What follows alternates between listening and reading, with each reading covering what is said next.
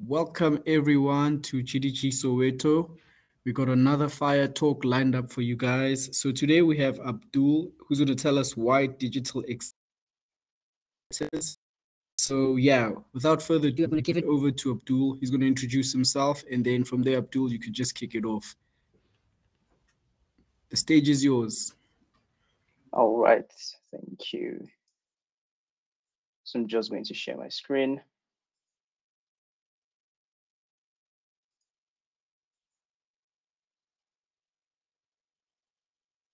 Oh, perfect. Um, can you see my screen? Yes, we can. Yeah. All right. Cool. Um, so have you ever wondered um, when you go to watch a movie and then you realize, oh, the movie is in Chinese or the movie is in Arabic or a language you don't speak, and then you're unable to watch the movie even though it has been trending on Twitter or on social media? Or have you ever tried to buy a gift for your loved ones on an e-commerce platform, but you're not able to do so because the site does not work on your device? Today we'll be taking a look at what digital accessibility is and why it matters. My name is Abdulqudus. I am a front-end developer at Certifaction.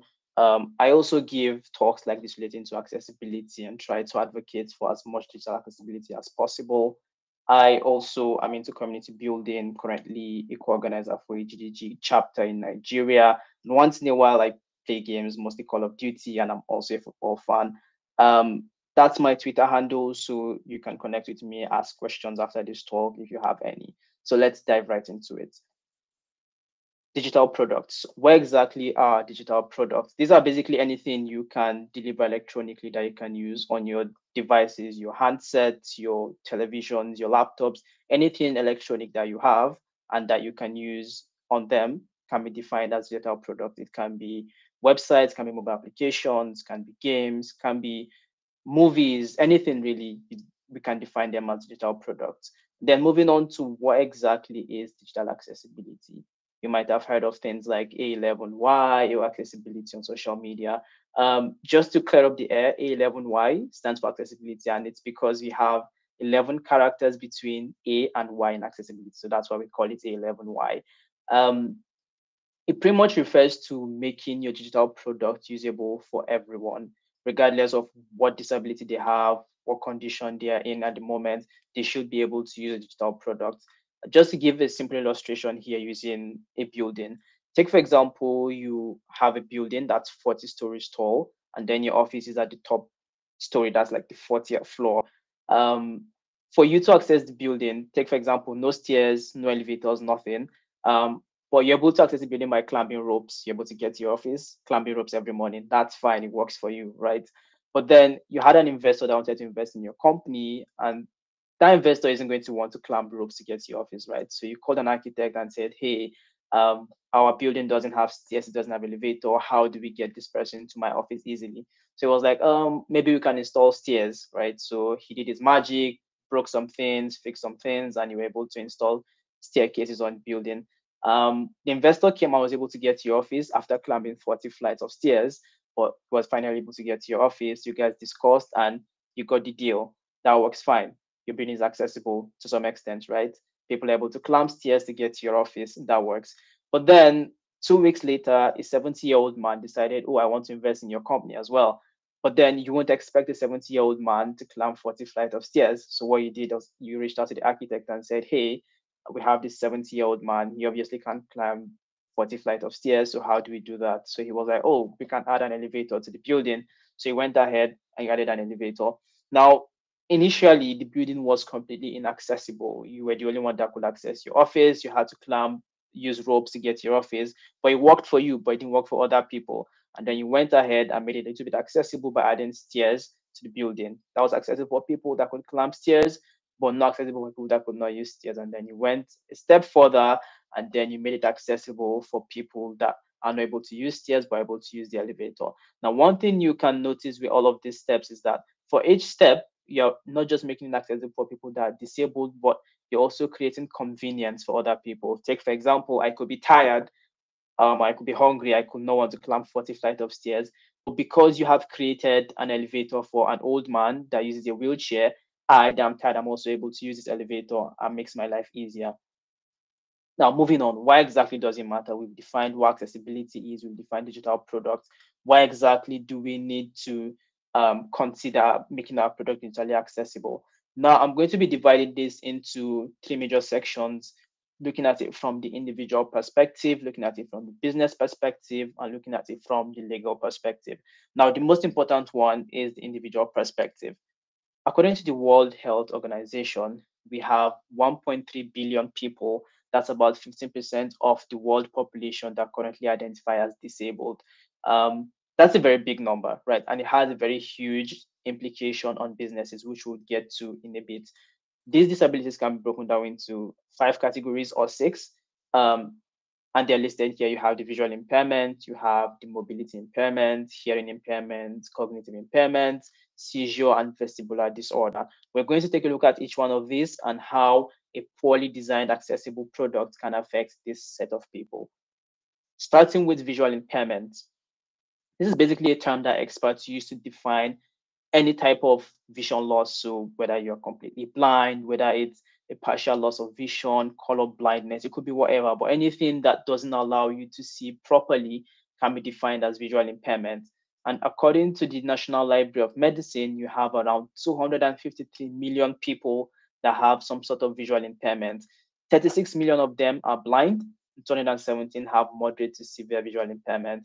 And not just that, it was also said that one in 12 men identify as colorblind. So if anybody tells you men don't know colors, well, it's not our fault. We are colorblind. Um, now, moving on, there are several ways a poorly accessible site can affect people with visual impairment.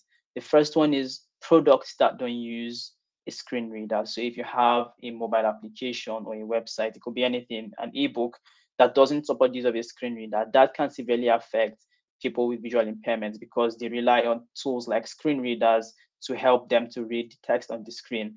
Um, you can just do a little bit of practice here. Pick up your mobile phone, close your eyes, and try to type in a message and send it to someone and see what you're able to type. The thing is, you realize how inconvenient it is for you to type something with your eyes closed. But in reality, we have about 253 million people that have to live their lives that way. Second thing is using colors alone to differentiate a chart. Um, you might have worked on analytics platform that relies on using bar charts, pie charts, whatever it is, and you have to find a way to differentiate them somehow.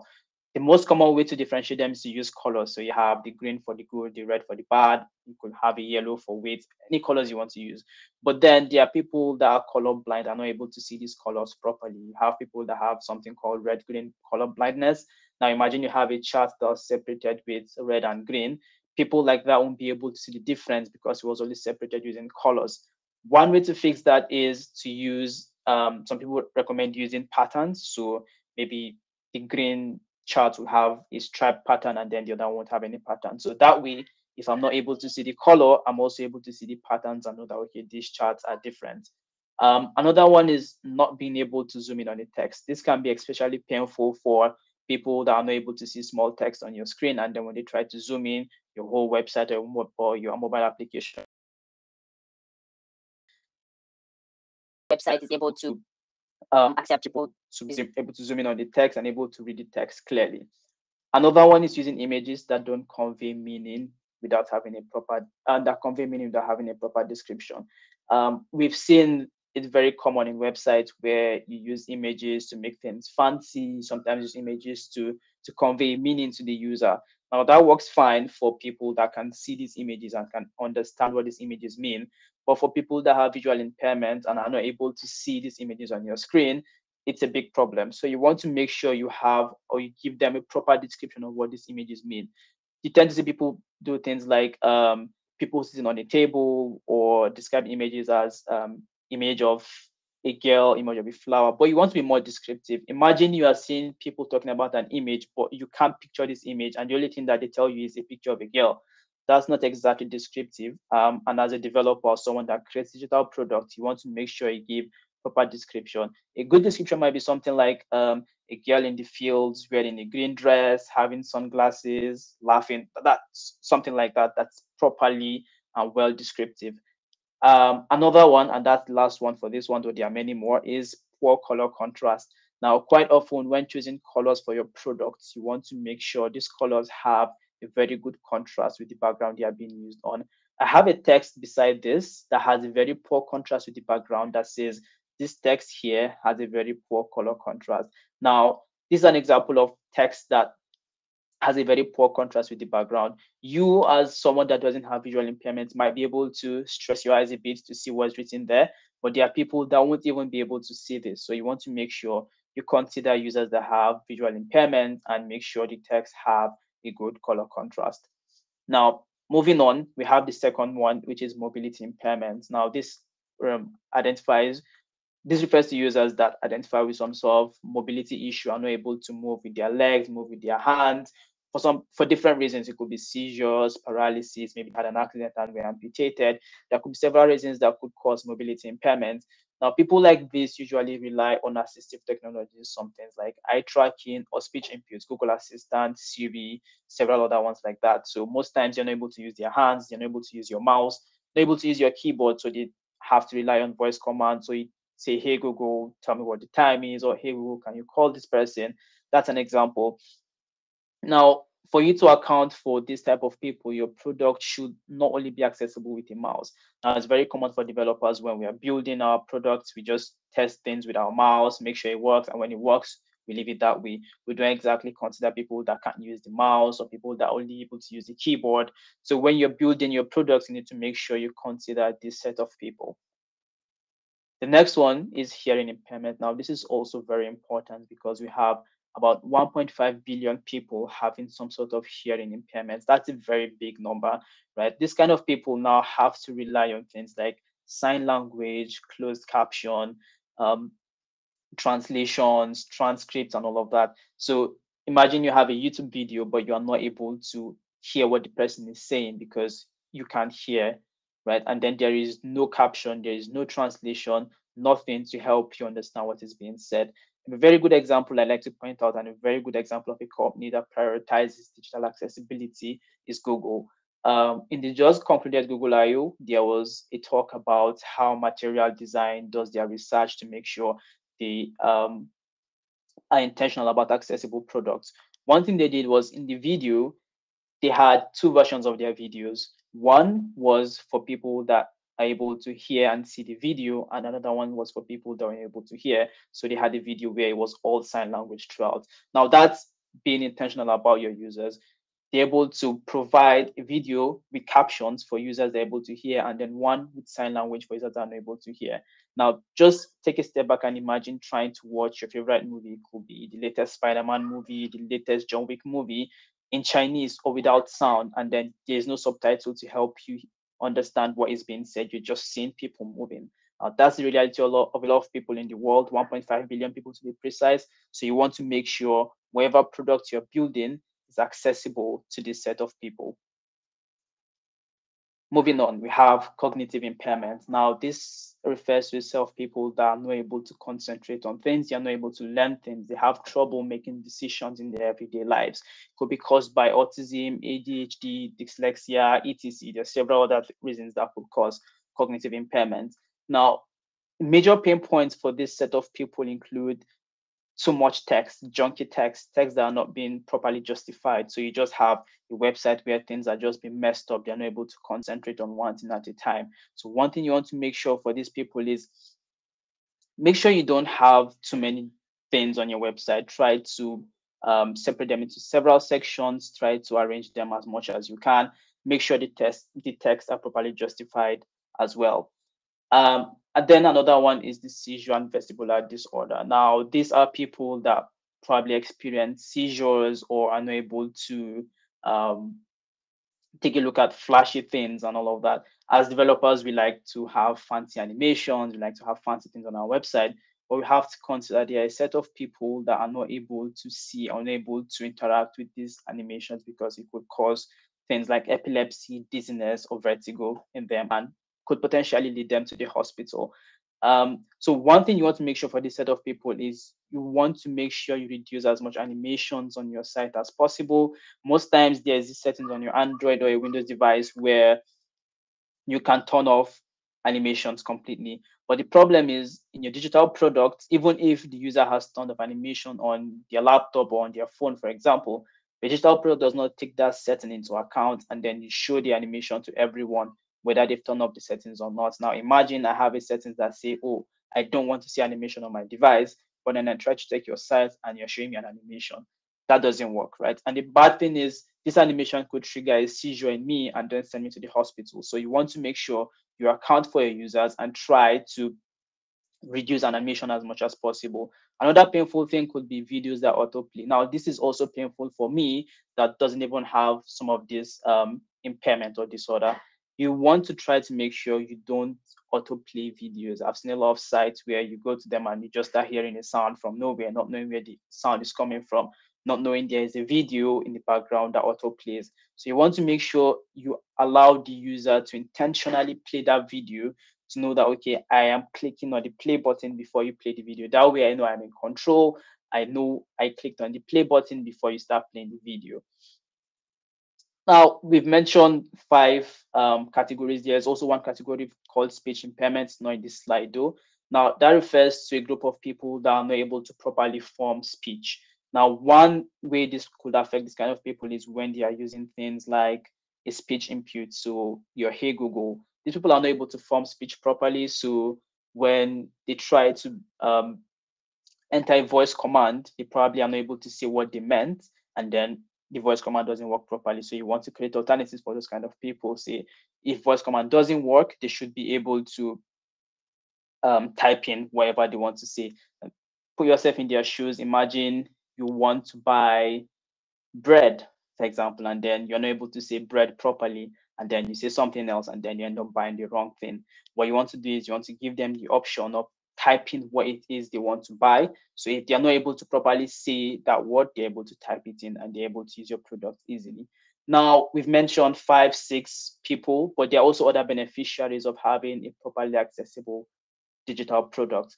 One of them is people that are temporarily disabled. So it could be that you on you on a normal day are not disabled, but maybe you went to play football like I usually do, and then maybe you broke your wrist.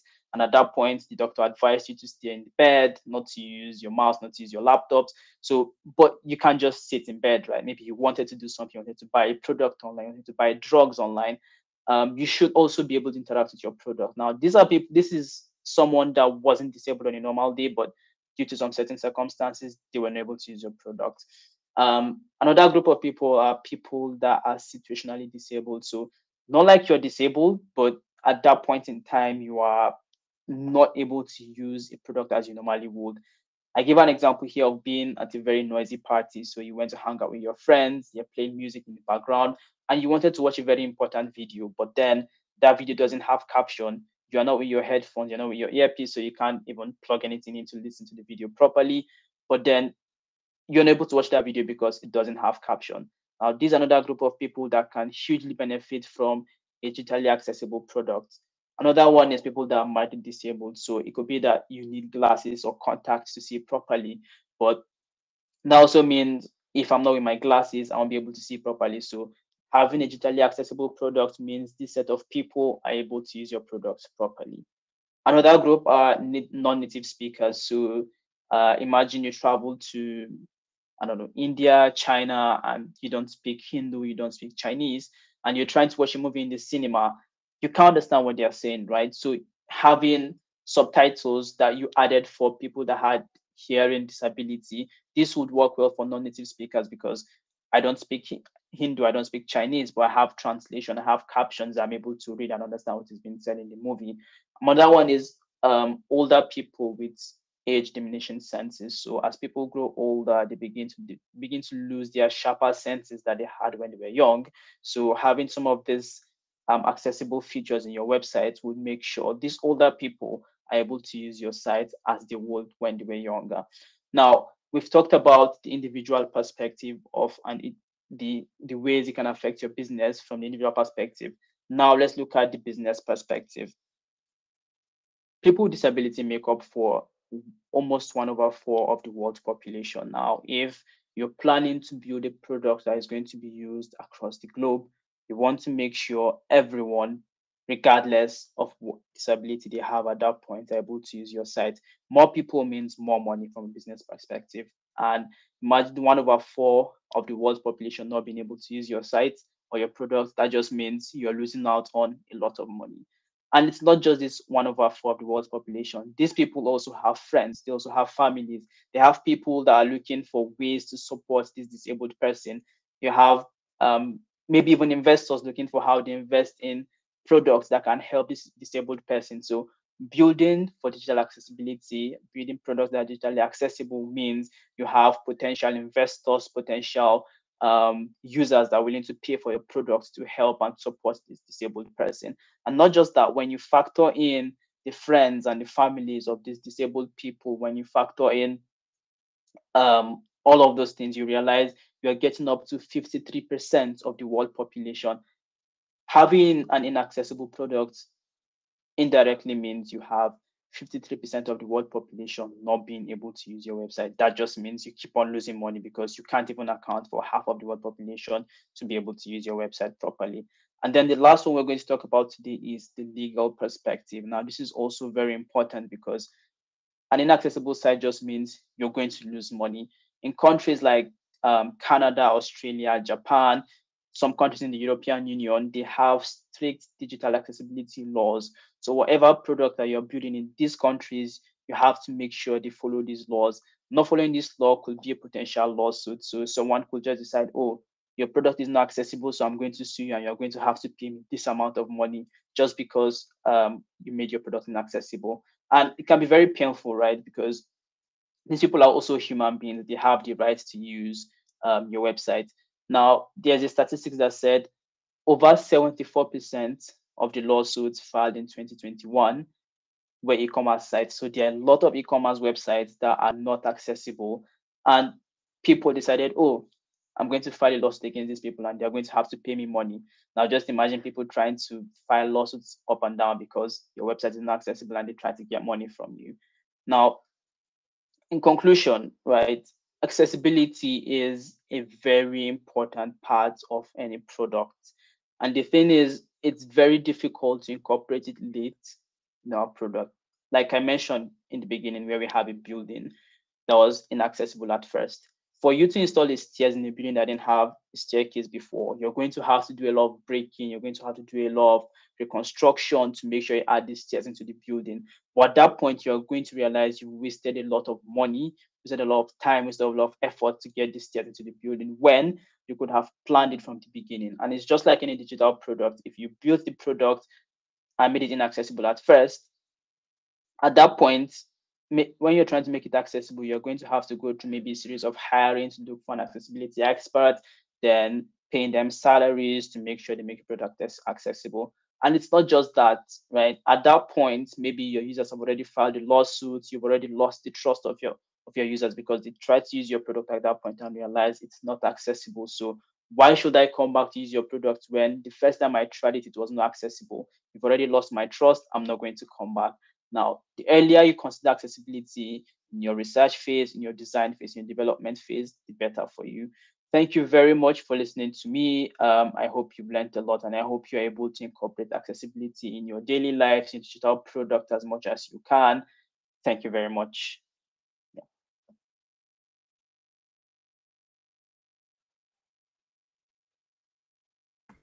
Okay, thanks, Abdul. Thanks a lot. Um, I just wanted to ask quickly one question there, which was to say, how do we then test our apps with these different types of situations that we come across when it comes to accessibility? Thanks. Yeah, thank you very much. That's actually a very good question. Um, there are several ways. One of them is the automated way, which is the easy one. Um, for people like us that um, maybe I don't have any form of disability, I'm able to see, I'm able to hear. I won't exactly be able to test as much as a disabled person would, but then I can try my best. The automated tools like Lighthouse, there is um, this extension called um, Wave that you can install on your browser that you can just use to do as much automated testing as you can. So it tells you things that you can improve on your website to uh, make your product accessible. But it's not just that. Another way, um, probably the most recommended way, is to have some of these disabled people in your development process. So reach out to them, conduct research, show them your product, and help, have them test it to let you know if it works well for them. That's probably the best and the most advisable way for you to um, incorporate testing in your product. Okay, thanks. Thanks for that answer. Okay, um, a question on my side as well. Um, it's more of a scenario. Think of it this way. Think of it as a app or site built for, let's say, blind people. In this case, they would obviously have to rely on audio, right? So now let's say it's a news reading app that's audio. Now, what I'm wondering is that how do we ensure that the information that they're getting through the audio does correspond with the news, you know? So like what if the audio isn't saying what's actually in that new script? How, how is like how can we actually make sure that it, it it's not that way? I don't know if that makes yeah, yeah, that makes sense. So that that's where the manual testing come into play, right? So you have a new source that you want to convert into audio obviously there are tools that can help maybe text to speech speech to text that can help you convert the text into audio for blind users but then you also want to make sure you take the extra step to go through this audio yourself or maybe hire someone that's going to go through this audio that's going to audit the audio and make sure everything that's been said is correct and corresponds with what was in the news outlet eventually um in, initially so just like taking the extra step, don't just rely on um, tools to do the conversion. Also have like human input because thing is tools are made by humans, right? They can um, have some level of errors in them, no matter how much they claim to be accurate, no matter how much AI is being um, added into these tools, they can make mistakes. So you want to make sure you have the human input as well. Go through this um, audio, make sure everything is correct and corresponds to um, the news outlet initially. It's also the same thing with videos. So when you want to present videos, people that can't hear these videos, you have things like closed caption. So on YouTube, you probably have seen this CC button that stands for closed caption. So when you click on it, YouTube tries to automatically generate um, caption for this for this audio. But the thing is, even that caption isn't exactly accurate. So you might have it works fine for maybe a US um, person or someone from the UK. But if someone from Africa, for example, is speaking, it struggles to generate the caption properly, right? So for things like that, you don't want to just rely on this closed caption or this automatic generative tool. You want to make sure human beings go through this, audit them, make sure that everything that's coming out from the closed caption or the audio is correct. Okay, thanks. No. Yeah. Okay, cool. I think you have another question. All right. Okay, Abdul, I just want to ask a follow-up question, which is to say, when it comes to forms, yeah, let's see maybe challenges or accessibility opportunities when it comes to designing forms for users. Forms, yeah. Um, so they're actually quite a lot. Um, one thing, and probably the most basic one I would say is try to turn off your mouse, try to disable your mouse, and see if you can use just your keyboard to access your form. Most times you realize that a lot of forms are not accessible because you can't use your keyboards. And one thing is when you're using tools like a screen reader, screen reader doesn't use a mouse, right? It tries to go through the form one after the other, right? Um, gets an input field, try to fill it, go to the next field, go to the next one, and then goes to the button. So one thing you want to do as well is to add labels. So if you have a, um, a form for first name, you need to make sure the, the label is first name. So when the screen reader goes to that form, it tells the user that can't see the form that, oh, hey, this is the first name field. So type in your first name, then goes to the next field and is the last name field, type in your last name. But if you don't have some of these labels, the screen reader doesn't exactly know what to tell the user. It just says, okay, you have a field. What am I supposed to fill in that field? Right.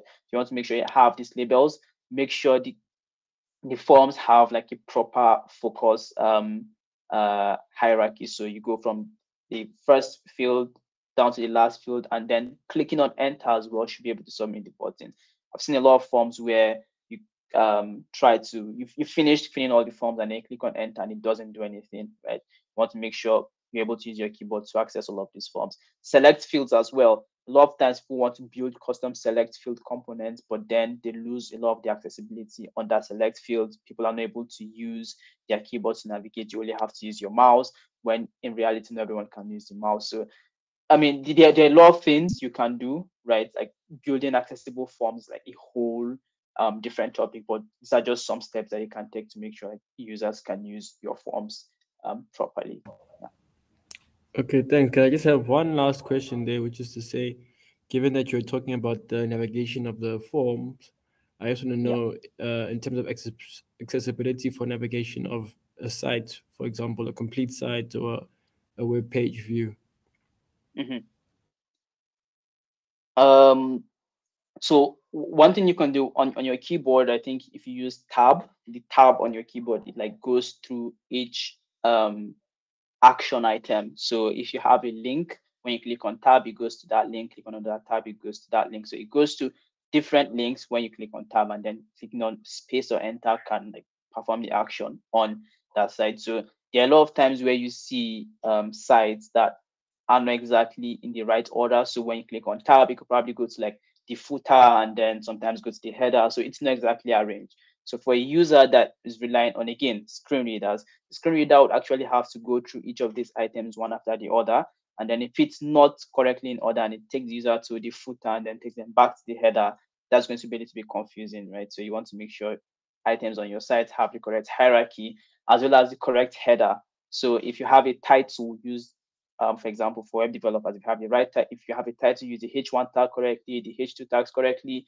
Don't just have a random text that is bold in, in color. It might look bold to you as a user that can see the text, but a user that relies on screen readers won't exactly see this text as bold. They will just see like a regular text and will know that it is um, a header. So um, that's just another thing you want to take into consideration.